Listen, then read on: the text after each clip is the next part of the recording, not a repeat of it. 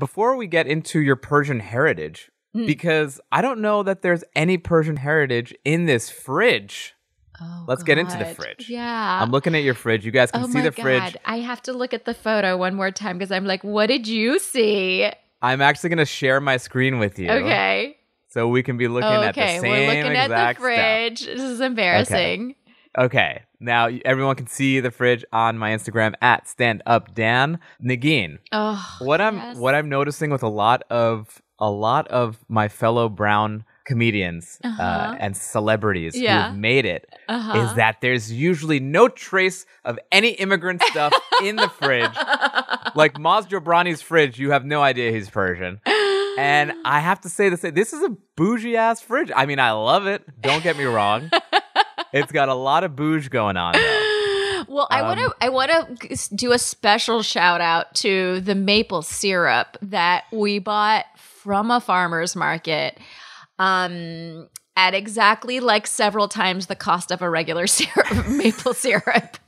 And and it's so delicious. It's like a deep dark maple syrup. And I- because i'm trying to be one of those people that doesn't use sugar but you know like i lose my mind sometimes so i sweeten with maple syrup which is uh, the bougiest thing that you could admit to is that you're like i'm trying to get away from cane sugar so i'm using a lot of replacement maple I gotta say, maple syrup is one of my favorite things, though. it is And it's there's, like, If you go on a deep dive on maple syrup, like they have, I think there's like five grades of it, Ooh. like from A to D, and it's like it's all about the darkness and the viscosity. Ooh. So is it like if it's more viscous, which essentially you're t- we're talking thick, right? Yes. Um yes. it's uh it's a higher quality or a lower quality?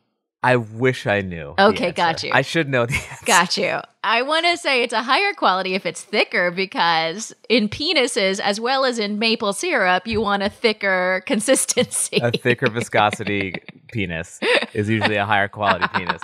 Um, I don't know. I could see them being a, like, oh man, that's how they cheapen it. They put thickeners in it. You want that really thin maple syrup. Right, I'm- right. No, exactly. They like added some fucking flour or something to like make it appear thick. Yeah.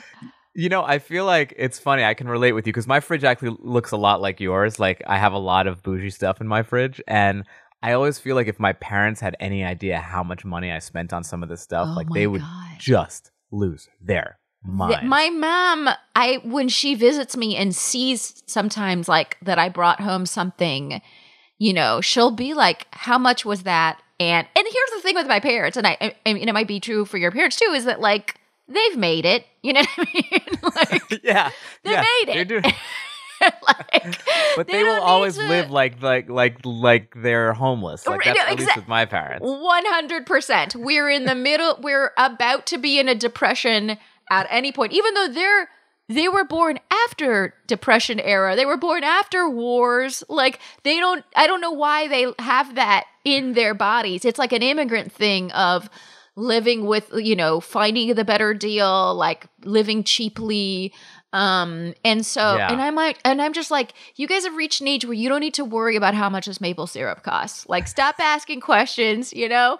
But they um but they very much it's like a it's like an assault on their um set their way of life to to buy things that are so needlessly expensive. And and for me i totally feel that. Like i know when i'm buying something that feels like ridiculous like a ridiculous expense and and Yeah. there's small things too right so it's a ridiculous expense of you know i went to the farmers market and i bought um this uh, natural harvest kimchi which you'll also see in the um in the door of the refrigerator at the oh top God, left you got bougie there kimchi also. a bougie kimchi made by like you know made by a farmer um and Is it a Korean farmer? it's a Korean f- farmer. Yeah, yeah, yeah. Okay, like, it was like a Korean woman who like got all of her cabbage from some, you know, whatever. And there it is. And There it is.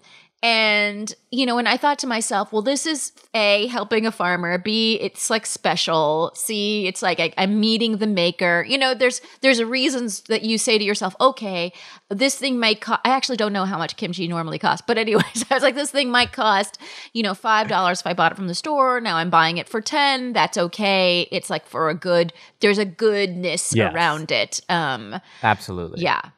I'm with you. I pay the premium for the goodness as well. I think you know, eh, you know, you're supporting nice people who believe in their food, and farming is a grind. Mm-hmm, So mhm. let him have a couple more bucks. yes. I do think though you went a little too bougie on something, What is which that? I think the non bougie is always better than the bougie, which is all which for me is ketchup. Oh, I'm not a, A fan of bougie ketchup. What's wrong with bougie ketchup? I don't know. It just has this tinny kind of tomatoey weirdness where I don't know. I like the processed Heinz better. Right, right, right, right, right. There's- yeah, the, That your corn your syrup, man. elitism. It's sort of like yeah, your elitism doesn't extend to actual tomato flavor in ketchup.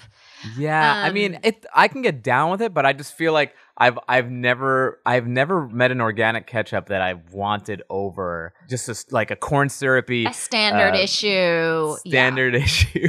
Yeah. yeah, government issue ketchup. I mean, and I'm not like that with everything. Like with with peanut butter, I like the bougie Mhm. organic peanut butter Mm. better than Jiffy. Mm. That's interesting because I, I have more. I mean, to me, a jiffy is more like a party, you know? And the organic, you know, like the Brad's organic, no sugar added or whatever, is a little bit more like work. You know I mean? It's a little It more like definitely a job. Um, and Yeah. so I have a little less fun where, you well, know, mixing the oil in with the peanut butter is always the worst. It's like the worst part of anyone's you, You're day. churning your own peanut butter at a certain point, and it's not. It doesn't have the same. You know, it's just not the same fun. No. Um, but I but I want to say that I really love a curry ketchup. Have you had a curry yeah. ketchup like with a bratwurst or something?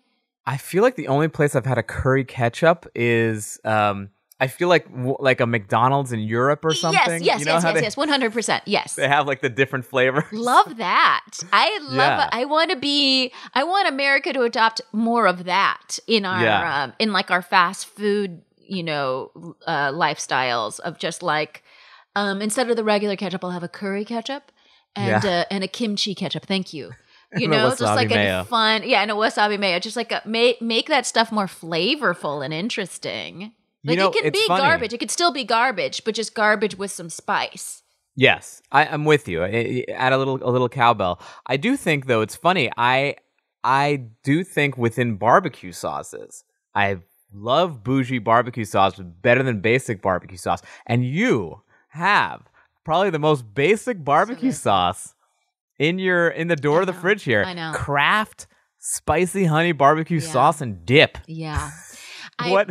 just in my own defense, we just finished a whole thing of like a fancy barbecue sauce. Okay, this is the plan B. This is this is week five of quarantine But barbecue I want to say for people who don't know the Kraft spicy honey barbecue sauce, it's really delicious. Uh, You know, it is. It's just delicious. Um one of the things I grew up because I grew up in Palm Springs, California, not too far from where you currently live, and um, we grew up with Carl's Jr. Which we actually don't have Carl's Jr. on this side of the country. I think we have Hardee's, but not in New York City. So, anyways, this is some this is an itch I scratch only like once a year, whatever, when I'm visiting home. Um, you go to Carl's Jr. and you get the double Western bacon cheeseburger, or you get the Western bacon cheeseburger, and you get extra barbecue sauce. Uh, that it was like a thing I grew up eating. Like Hmm. it was a treat. Like once every couple weeks, my mom would be like, "We're going to Carl's Jr. We're getting the disgusting thing you love," you know. And um, and so this this spicy honey barbecue sauce sort of like harkens me back to those days. Oh, got it. Yeah. Full disclosure, I've never been to Carl's Jr. Shut your Yeah. face. That's a real shame. And I think you need to carpe the diem and like get into that. A Western bacon cheeseburger um, with like a nice bacon that a Muslim shouldn't eat. Not that you're a Muz, but like, Well, this, but this also a Jew shouldn't, shouldn't eat a nice bacon. Do you eat the bacons? I do. I, I Okay, so I- we're both I enjoy terrible. it. Yeah, yeah, yeah. we're both awful. Yeah, yeah. Oh, so delicious.